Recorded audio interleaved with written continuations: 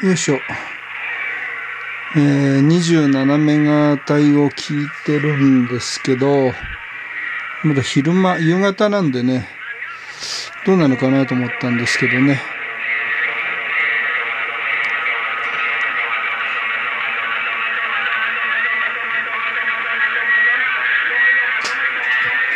えー、50年前の、えー、アマチュア無線機で、っていうか、ラジオっていうか、えー、聞いてますけどね、これハマーランドの HQ180、えー、相当お宝なんですけどね、ちょっと今、調子よくなったんで、えー、ちょっと27目が聞いてみようかなって。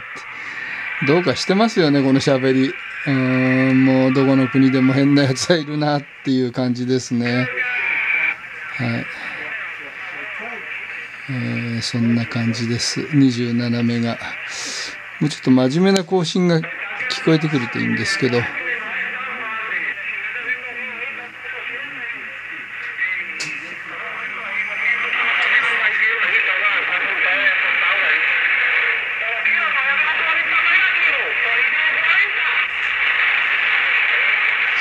なんかイスポ出てるみたいでね、ちょっと遠くの曲が入ってますけどね。ちょっともうこんな感じなアホがいっぱいいます、こっちはね。日本でこんなことやってると怒られるんじゃないかと思うんですけどね。えー、そんな感じです。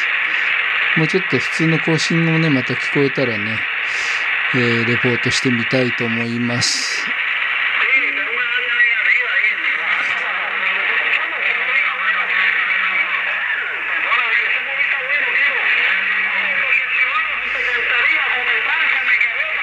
大体これね、あの、南米から飛んできてる信号なんですよね。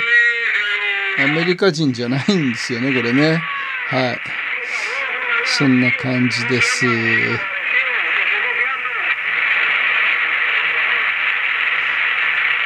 英語じゃないですからね。